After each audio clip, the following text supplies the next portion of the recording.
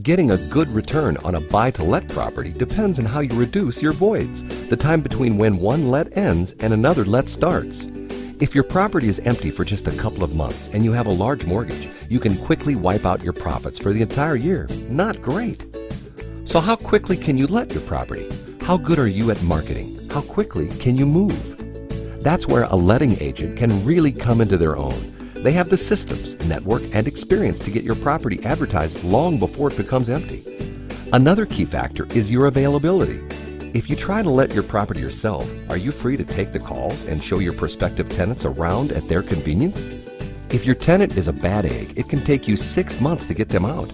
Many of these type of tenants can be filtered with good credit checks and requesting references the right way. A good letting agent is there to help speed up the process for your convenience. For property to deliver truly passive income, someone other than you has to do the work. Call now.